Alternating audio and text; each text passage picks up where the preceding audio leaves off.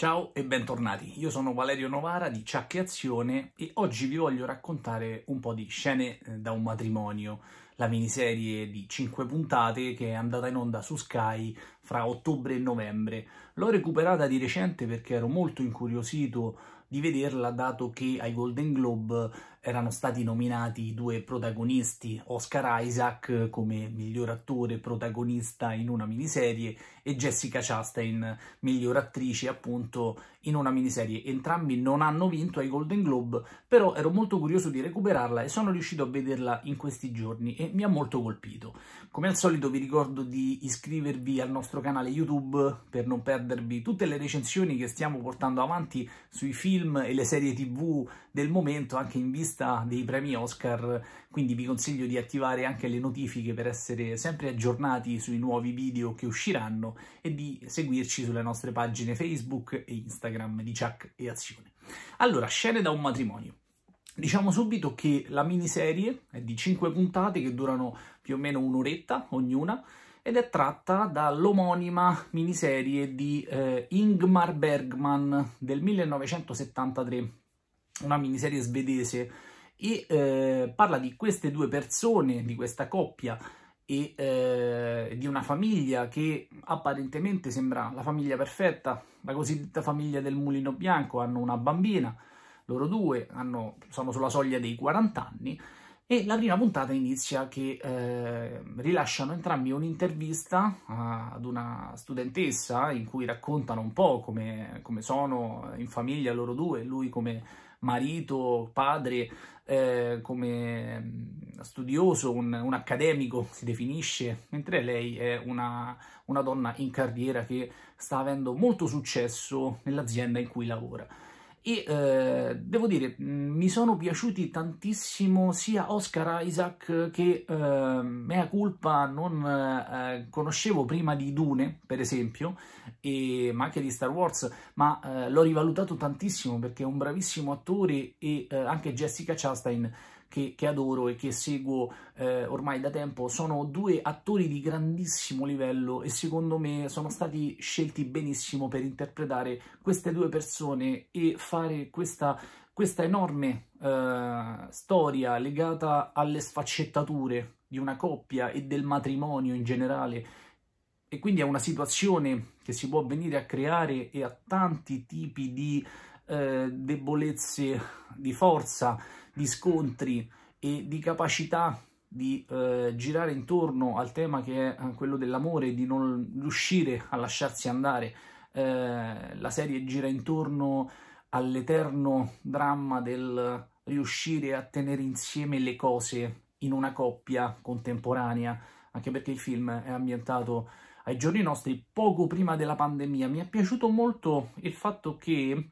fosse stato girato in pandemia e si evince dall'inizio di ogni puntata in cui si vedono entrare sul set gli attori, cioè la camera segue proprio l'attore che entra sul set e dopo qualche secondo c'è il Chuck e si dà il via alla, uh, alla, puntata e quindi alla registrazione della puntata vera e propria e si vedono tutti gli operatori con le mascherine.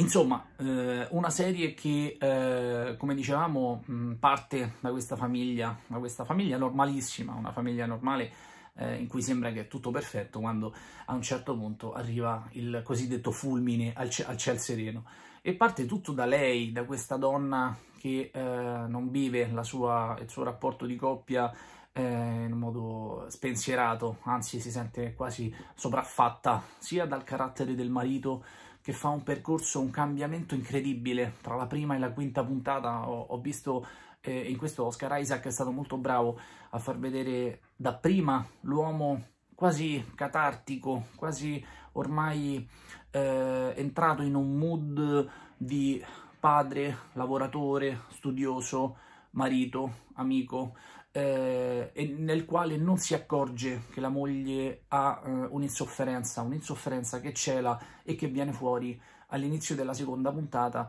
perché eh, è proprio lei che eh, gli confessa di essersi innamorata di un'altra persona e in particolare di un ragazzo più piccolo che, eh, che lavora insieme a lei, insomma. E sarà un fulmine a ciel sereno perché lui viene preso proprio eh, così, non se l'aspettava una scelta di questo tipo e si vede la grande sofferenza sia negli occhi che nelle parole del marito eh, Jonathan, in cui cerca di, all'inizio di, di, capire i motivi e di reagire facendosi vedere forte, ma poi eh, cade e comincia a prendersela con tutte le persone che gli stavano intorno, tra cui una coppia di amici che all'inizio della serie si vede che loro stanno a cena con questa coppia che aveva deciso di provare mh, a salvare il loro, il loro rapporto mh, scegliendo, facendo la scelta di essere una coppia aperta e quindi di frequentare altre persone eh, rimanendo comunque insieme a, al partner eh, fra i tanti problemi loro cercano di aiutarli e di consigliarli questi amici, ma non riescono a consigliare se stessi, è forse il grande punto focale delle prime due o tre puntate. Eh, allora, può sembrare una serie mh, lenta perché mh, la cosa che è interessante è che ogni puntata è un giorno spezzettato nell'arco di diversi anni, quindi tra una puntata e l'altra passano anche diversi mesi e ci si sofferma su un determinato giorno eh, della vita di queste due persone e ci sono tantissimi dialoghi. Alcune puntate sono girate in una stanza, forse la maggior parte, in cui si vede che i due protagonisti parlano, parlano tantissimo e affrontano i problemi di una coppia contemporanea eh, in un modo eh, a 360 gradi, arrivando anche a dirsi cose pesanti, a rinfacciarsi cose, ma nonostante questo a voler tornare poi sempre dal partner e da quello che ti conosce meglio di tutti, dalla persona con cui sei cresciuto, con cui hai condiviso ehm, gioie e tristezze della vita. Eh, a un certo punto, e questo mi ha molto colpito, eh, lei tornando perché poi si trasferisce per lavoro lontano da loro, quindi lui si trova a dover fronteggiare anche eh, il fatto di essere un papà, eh, dover crescere questa bambina eh, da solo, ehm, comincia ad andare in terapia lui anche per farsi aiutare a reagire a una situazione che l'aveva veramente buttato giù. Lei, eh, bravissima Jessica Chastain, eh, in questa veste l'avevamo vista no, nei film, più che altro aveva fatto dei film, e c'era anche una serie su, su Netflix, Molly's Game, eh, però devo dire fa una parte eh, molto profonda e molto ehm, realistica perché eh, se tutti si aspettano no, che eh, fosse l'uomo a un certo punto anche in una situazione matrimoniale, anche in una situazione genitoriale con un figlio, a eh, perdere la testa per qualcuno e succede continuamente, ma anche alle donne, però mh, mm, non mi aspettavo fosse lei addirittura di innamorarsi, dire di innamorarsi di qualcun altro è una cosa molto forte. Eh, nonostante questo, le due persone, le due persone che sono comunque cresciute insieme, che hanno condiviso tutto insieme, tornano sempre a ricercarsi e eh, quando si rivedono dopo tanti mesi eh, se fanno una di quelle scopate eh, mega galattiche e, e, e, questo fa anche capire quanto ci sia simbiosi e quanto ci sia affinità fra due persone che si conoscono come nessun'altra.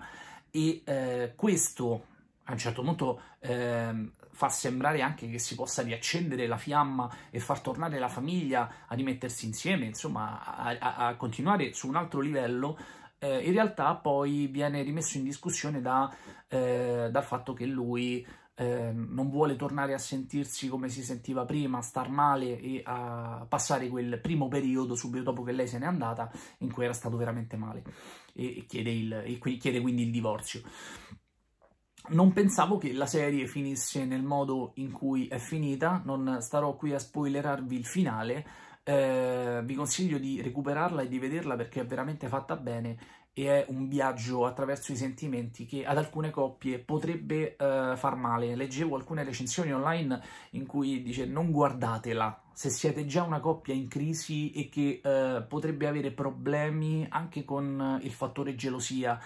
e quindi potreste anche mettervi paura vedendo alcune cose che succedono quotidianamente, ma la forza probabilmente anche di questa serie è che il grande messaggio è quello di affrontarle insieme, di parlare, di parlare, parlare. La comunicazione può essere la forza per affrontare i problemi e superarli insieme. E una cosa che ho apprezzato tanto è che alla fine si torna sempre eh, dove, dove, si è stati. E quello, no, non do nemmeno una colpa al fatto che queste due persone si continuino a cercare anche dopo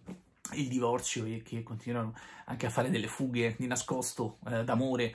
quello è sempre il marito, quella è sempre la moglie e su questo mm, nessuno può giudicare anche una scelta del genere di due persone che veramente si sono date tutto. Quindi consiglio di vederla e di vederla anche con occhi eh, distanti dall'esterno, senza farsi condizionare da quello che succede, ma prendendo anche il, il buono che c'è in questa serie e il consiglio di eh, affrontare, perché i problemi ce li possono avere tutti e eh, sono anche nelle coppie più belle, anche nella coppia del mulino bianco non c'è niente di perfetto. Voglio sapere voi cosa ne pensate, scrivetemelo nei commenti e continuate a seguirci su Ciacchi Azione.